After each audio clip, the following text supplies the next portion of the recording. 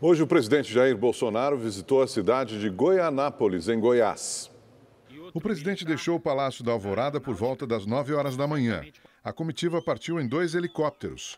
Bolsonaro estava acompanhado do ex-ministro da Saúde, Eduardo Pazuello, e do ministro da Defesa, general Walter Braga Neto. O deputado federal Major Vitor Hugo, líder do PSL na Câmara, também estava presente. A visita a Goianápolis não estava na agenda oficial do presidente. À tarde, nas redes sociais, Bolsonaro destacou o número de vacinas distribuídas pelo governo federal. Ao todo, já foram distribuídas aos estados mais de 50 milhões de doses das vacinas Coronavac e Oxford AstraZeneca.